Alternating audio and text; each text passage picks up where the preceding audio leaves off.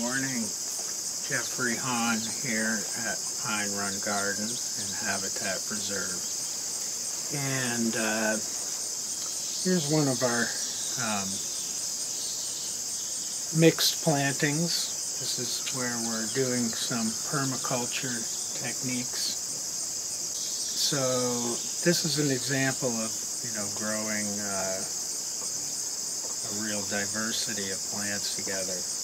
Um, but I just wanted to show you an example of, of what's called relay planting or succession planting. So I have this cabbage plant here and um, I'm going to harvest that uh, right now and that's going to um, make room for these tomatoes and watermelon that have started to grow and they'll fill in this space. And before uh, this cabbage there was a bunch of spinach in here and lettuce um, which was planted pretty much at the same time as the cabbage uh, but the lettuce and spinach grew faster and I harvested that and then the cabbage took up that space along with a few flowers. This is an aster. I have a stevia plant back here. Um, so, and obviously thyme, oregano, sage. This is a broccoli plant.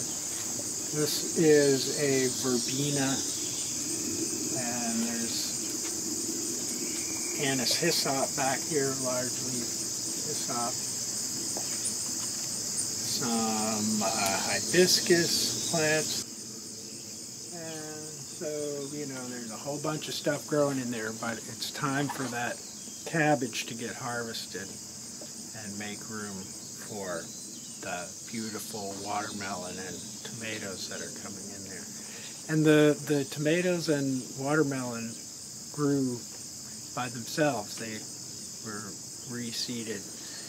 Um, the tomatoes from plants that grew there last year and the watermelon from seeds we just threw there. So let's uh, harvest that cabbage.